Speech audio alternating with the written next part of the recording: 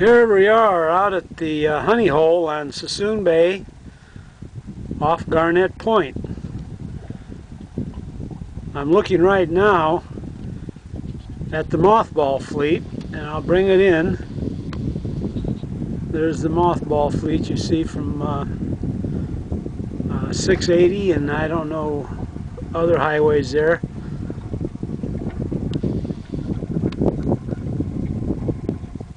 There is the Carquinez Martinez, I mean the Martinez Benicia Bridge also, right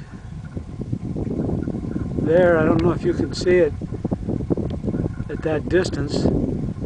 But again, there's the mothball fleet. And as we pan across to the foothills over there, that's Highway 680.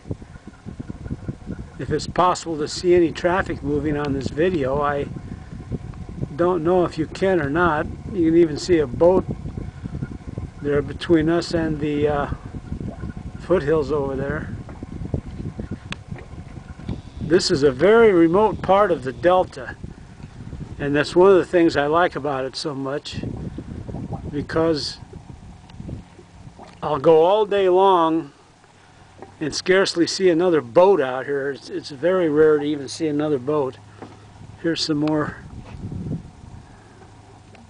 of the view here towards the front of the boat.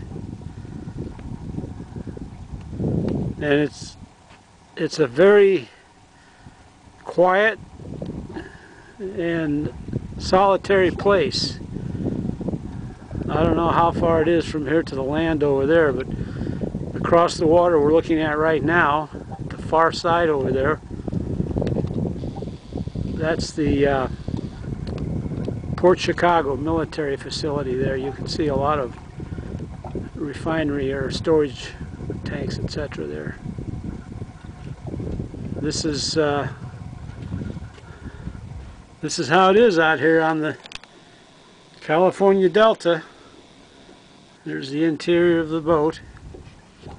And that's it.